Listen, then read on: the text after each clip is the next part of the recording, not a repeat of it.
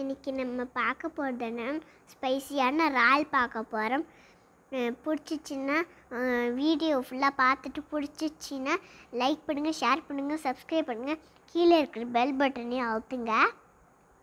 இப்போது அதுக்கு நம்ம வந்து ஃபஸ்ட்டு அரை கிலோ இறால் எடுத்துருக்கோம். அதில் நம்ம ஒரு டேபிள் ஸ்பூன் அளவுக்கு Kashmiri red chilli powder add பண்ணிவிட்டு அப்புறமா வந்து கால் டீஸ்பூன் மஞ்சள் தூள்.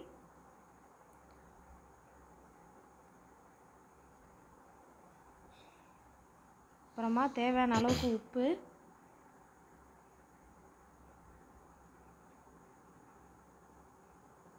அப்புறமா ஒரு அரை table spoon red chilli powder.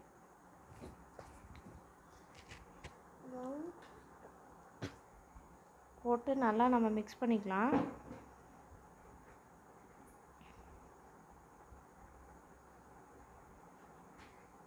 நல்லா ஃபுல்லாக மசாலா ஃபுல்லாக எல்லா இறால்லையும் ஸ்ப்ரெட் ஆகிற மாதிரி நல்லா மிக்ஸ் பண்ணி எடுத்துக்கலாம். மிக்ஸ் பண்ணி எடுத்துகிட்டு இது ஒரு பதினஞ்சு நிமிஷம் இது வந்து அந்த மசாலாவோடய இருக்கட்டும். அடுத்தது பதினஞ்சு நிமிஷத்துக்கு அப்புறம் ஃபஸ்ட் எண்ணெய் ஊற்றிக்கிட்டு ஒரு சட்டியில் எண்ணெய் ஊற்றுனதுக்கப்புறம் ஒரு பெரிய சைஸ் வெங்காயத்தை சின்ன சின்னதாக கட் பண்ணி அதை உள்ளே சேர்த்துக்கலாம். அடுத்தது இது சேர்த்ததுக்கப்புறம் அடுத்தது வந்து ஒரு ஒன்றரை தக்காளி அதையும் கட் பண்ணி உள்ளே சேர்த்துக்கலாம். இது வந்து தனித்தனியாக வதங்க தேவையில்லை. நம்ம இறால் வந்து மேரினேட் பண்ண இறால் இதில் உள்ளே போட்டு நம்ம ஒன்றாவே சேர்த்து குக் பண்ணிடலாம்.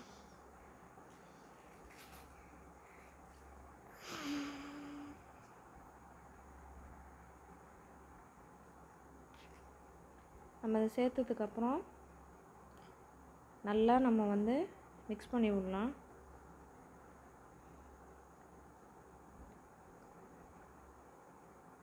நல்லா மிக்ஸ் பண்ணிவிட்டு இது எல்லாம் நல்லா நல்லா நம்ம மிக்ஸ் பண்ணிக்கிட்டே இருக்கலாம். இதுக்கு வந்து இந்த ரெசிபிக்கு வந்து தனியாக தண்ணி எதுவும் சேர்க்க தேவையில்லை. இதிலே தண்ணி ரிலீஸ் ஆகும். அதிலே நம்ம வந்து குக் பண்ணிடலாம். ஃபஸ்ட்டு வந்து ஃப்ளேம் வந்து இதில் வந்து ஹை ஃப்ளேமில் தான் இருக்குது ஹை ஃப்ளேம்லேயே நம்ம குக் பண்ணிடலாம் அதை ஃபஸ்ட்டு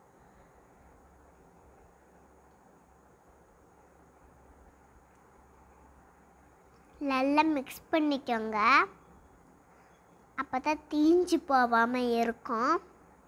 அடிக்கடி மிக்ஸ் பண்ணிக்கிட்டே இருங்க. அப்போ தான் அப்போ தான் அப்போ தான் வெந்துச்சா இல்லையான்னு தெரியும். அப்போ தான் டக்குன்னு அடுப்பை அடக்கிட்டு எடுக்கலாம்.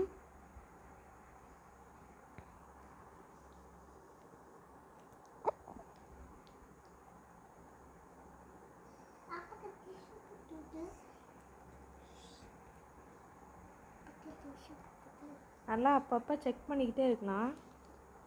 இப்போ தண்ணி நல்லா ரிலீஸ் ஆகிருக்கு இதில்.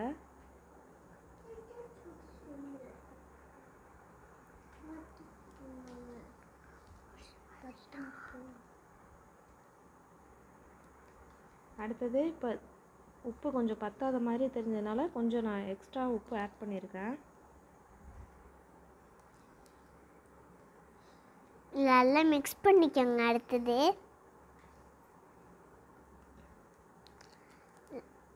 நல்லா வதக்கிக்கிட்டே இருங்க. நல்லா வதக்கிட்டே இருங்க. இப்போ தண்ணிலாம் நல்லா வந்து சுண்டி இருந்திருக்கு. இப்போ இந்த ரெசிபி ரெடி ஆகிறதுக்கு மினிமமாக டென் டு ஃபிஃப்டீன் மினிட்ஸாவது ஆகும். இப்போ இப்போ தண்ணி நல்லா வந்து சுண்டி வந்ததுக்கப்புறம் நம்ம வந்து ஃப்ளேமை வந்து குறைச்சி வச்சுக்கலாம். லோ ஃப்ளேமில் வச்சுக்கலாம்.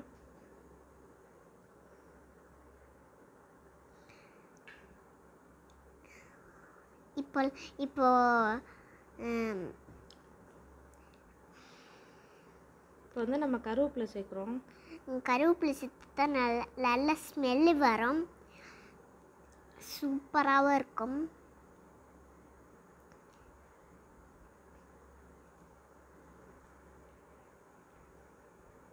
செல்லாக்கம்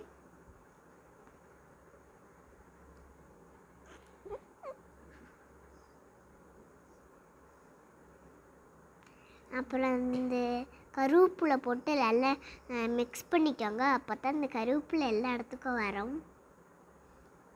எல்லா இடத்துக்கும் வரும்.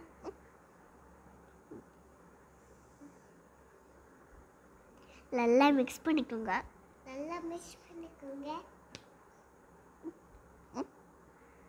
இப்போ இந்த ரெசிபி வந்து ஃபினிஷிங் ஸ்டேஜில் இருக்குது அதனால் வந்து கொஞ்சம் அடிக்கடி மிக்ஸ் பண்ணிக்கலாம். இல்லைன்னா வந்து அடி பிடிச்சிரும்.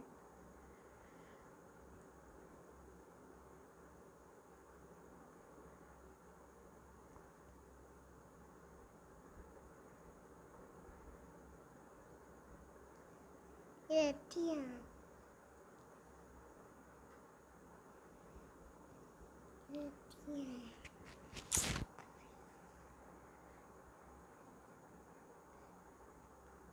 அவ்வளோதான் இது ஒரு அஞ்சு நிமிஷம் நல்லா வந்து சிம்லேயே வச்சுட்டு வந்து ஆஃப் பண்ணிடலாம்.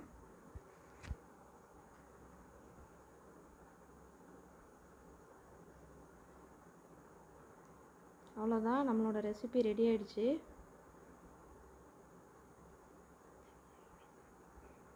அட்- அடுத்த வீடியோவில் மீட் பண்ணலாம். பாய்